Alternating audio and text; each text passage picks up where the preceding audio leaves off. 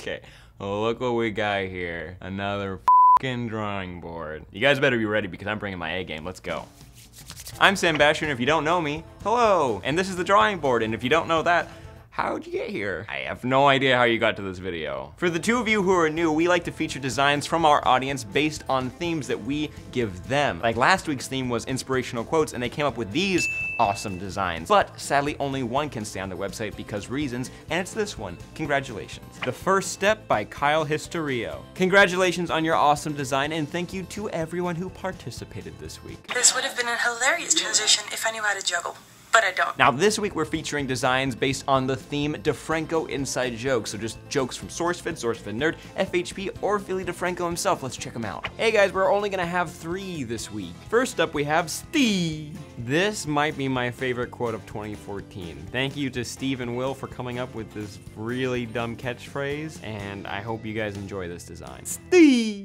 Steve. I just want to say Steve the whole time. Next, praise logic. The sun rises and then it sets, praise logic. If you turn around in a circle, you've gone 360 degrees, praise logic. This is the dumbest thing to say ever. Thank you for coming up with this, Steve. Next, Team SourceFed. Sure, it's not like all your SourceFed hosts, but this is the Team Avatar review group, and the artist made us like our favorite benders. It's pretty freaking cool. This is the coolest I've ever looked. I'm a waterbender. Look at that. And DJ's on the shirt. I love this. Awesome designs this week, guys, and thank you to everyone who participated.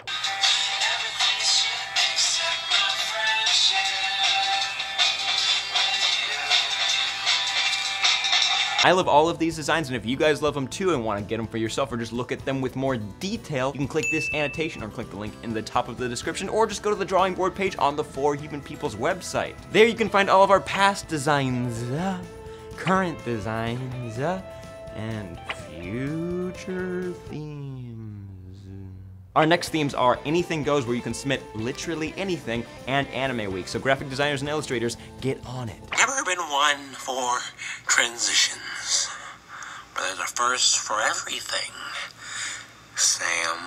Thank you for your awesome Snapchat transitions. Next week, we want to start pulling comments again, and if we pull your comment, you get a free shirt on us. So leave your transition ideas in the comments of this video. Get as weird as possible. Now it's time for Stranger Montage. If you guys want to be a part of it, post pictures on Instagram and Twitter using this hashtag with your favorite FHP merch. Let's take a look at who already posted pictures.